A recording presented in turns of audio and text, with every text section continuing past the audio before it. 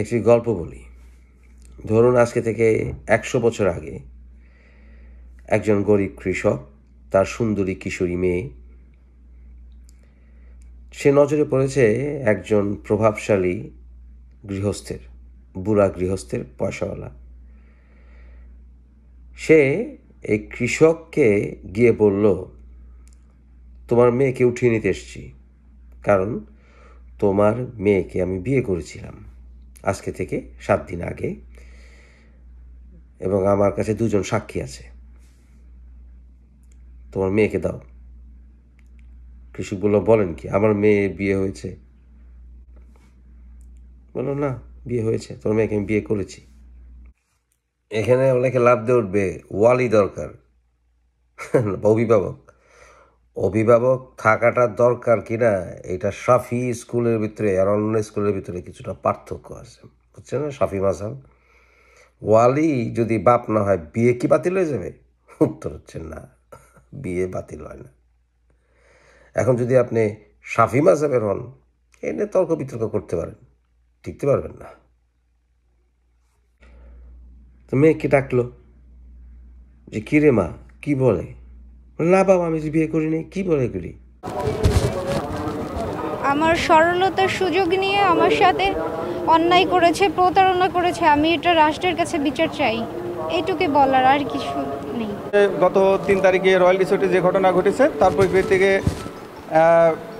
যে মহিলা সেখানে এসেছিলেন সেই মহিলা আজকে থানায় সোনাগা থানায় হাজির হয়ে একটি অভিযোগ দায়ের করেছেন। সেই অভিযোগের প্রেক্ষিতে একটি মামলা রুজু করা হয়েছে। নারী ও শিশু নির্যাতন দমন আইনের নয়ের এক ধারায় সোনাগা থানায় মামলা দায়ের করা হয়েছে। বলল, কি বলেন? বলে, না, আপনার মেয়েকে আমি বিয়ে করেছি। তাকে দেন মহারণা হিসেবে একটি কানের দুলো দিয়েছি। আপনার মেয়েকে উঠে নিতে এসেছি। কিন্তু এই বুইরা গৃহস্থ কিন্তু জানে, মাতব্বর জানে যে সে মিথ্যা কথা বলছে এবং তার এই দুইটা সাক্ষী, তার দুইটা চামচা, টাকা পয়সা দিয়ে সে দুইটাকে সাজিয়েছে। সে কিন্তু জানে। তারপর সেই গ্রামের পঞ্চায়েতের কাছে গেল। পঞ্চায়েতের কাছে যাওয়ার পর পঞ্চায়েতকে বলল, বিচার যখন বসল মাতবর বলল, যে আমি তো এই মেয়েকে বিয়ে করেছি। এর বাপ এখন আমাকে এই মেয়েকে উঠিয়ে নিতে দেয় না। তখন পঞ্চায়েত বলল, হাদিস কি বলে? বুখারি হাদিস খোলা হলো, কিন্তু এর আগে বলল, কোরআন কি বলে? বলে, কোরআন বলে মেয়েকে এই মোহরানা দিলেই যথেষ্ট এবং মোহরানা দেওয়া হচ্ছে তার জনি ব্যবহারের অধিকার। কোনো সাক্ষী টাক্ষীর প্রয়োজন নাই। তালাক দেওয়ার ক্ষেত্রে সাক্ষীর দরকার আছে। যদি জামাই তালাক দেওয়া দিতে চায় এবং সেখানে যদি দেন মোহরানার ব্যাপার স্যাপার থাকে, সেই সময় দেন মোহরানা বাকিটা চুকিয়ে দেওয়ার ক্ষেত্রে কিছু সাক্ষী দরকার হতে পারে। কিন্তু বিয়ে করার ক্ষেত্রে কোনো তালাকের মতো ওই সাক্ষী টাক্ষীর কোনো দরকার নেই।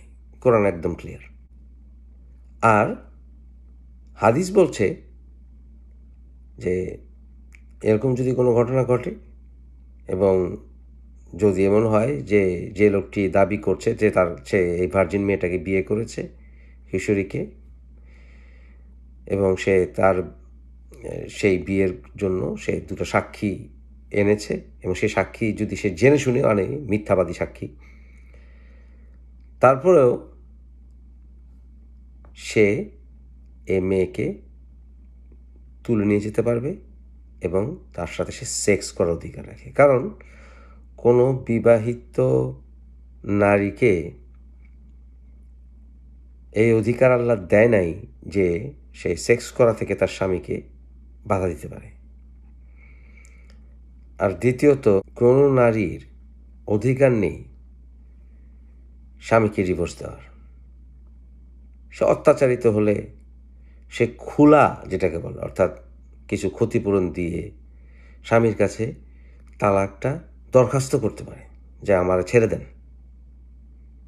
এবং আল্লাহ বলছেন, ছেড়ে দেওয়া বেটার যদি বনুমনা না হয়। কিন্তু স্বামী তালাক দিতে বাধ্য না, এমনকি তালাক বলার পরে যে এটা সময়, তিন মাস অপেক্ষা করতে হয়, ইদ্যত পিরিয়ড বলে।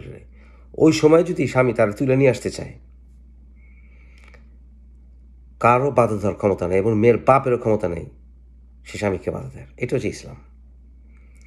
তারা পঞ্চায়েত কী করবে? এই কিশোরী মেয়েটিকে ভার্জিন মেয়েটাকে, ওই বুইরা মিথ্যাবাদী ফলস উইটনেস যে যে নিয়ে আসছিল যে মাতব্বর, তার কাছে উঠাই দিতে বাধ্য থাকবে। এটি হাদিস। ক্লিয়ার এবং ওই বুইরা মাতব্বর, ওই মেয়েরে বাসায় নিয়ে গিয়া বুঝতেই পারছেন আর বাকিটা বলা দরকার আছে। তা এখন আসেন মামুন লোকের মানবিক বিয়ে। তো মামুনুল মামুনুলকের মানবিক বিয়ের যে বউ, এ অস্বীকার করছে যে তাকে মামুনুলক বিয়ে করেছিল। কারণ বাংলাদেশের আইনে তার বিয়ের কোনো প্রমাণ নাই।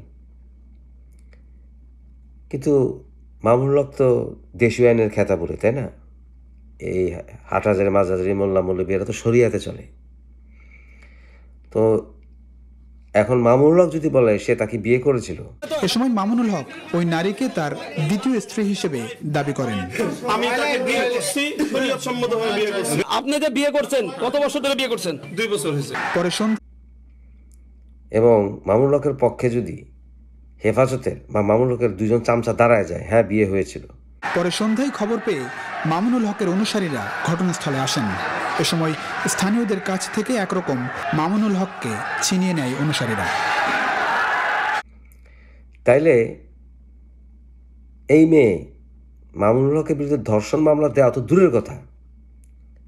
মামুনুল হক তাকে উঠায় নিয়ে যাওয়ার ক্ষমতা রাখে।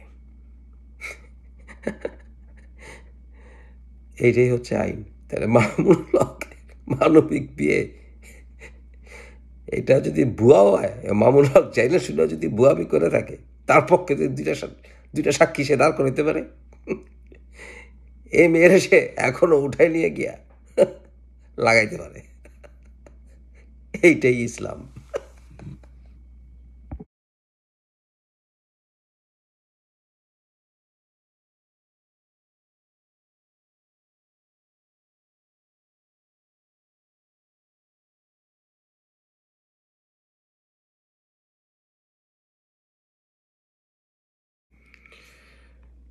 যায় না যায় না, শেষ নাই।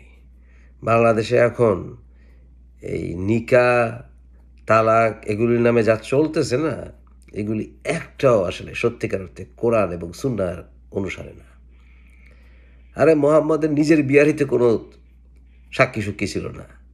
সাফিয়ারে, তার জামাইরে মাইরা রাত্রেবেলা আটকা বাইন্দা থুয়া রেপ করে সকালে শরীরে কাপড় ছিঁড়া বাইরা কয়, হে আমার বউ আজকে থেকে।